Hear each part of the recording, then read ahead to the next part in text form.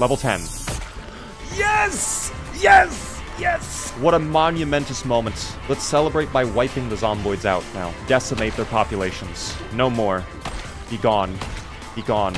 You are ruining this amazing memory for me. Look at this.